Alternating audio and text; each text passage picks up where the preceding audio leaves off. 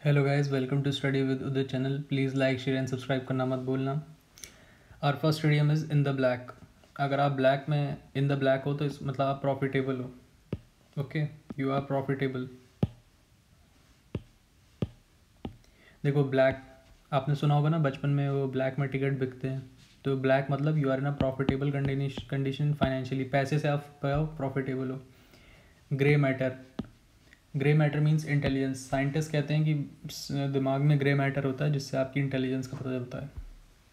Next is from stem to stern S T E R N from stem to stern means all the way from the front of a ship to the back okay मतलब ship के front से लेकर back तक. From stem to stern इसको तो याद ही करना पड़ेगा। Next is cut short cut short का मीनिंग होता है इंटरप्ट करना, ठीक है? किसी को बीच में रोक देना, ठीक है? You are interrupting somebody, it means you are cutting him short. Next is, ruffle somebody's feather okay जैसे आप कोई if you take a bird and ruffle his feather तो इट विल अनॉय मतलब बर्ड नाराज़ हो जाएगी तो अगर आप किसी के फेदर को रफल करते हो और मतलब हिला देते हो तो वो अनॉय हो जाता है मतलब नाराज़ हो जाता है।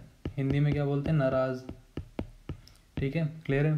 तो if you are ruffle ruffling somebody's feather it means you are annoying him okay please like share subscribe करना मत भूलना।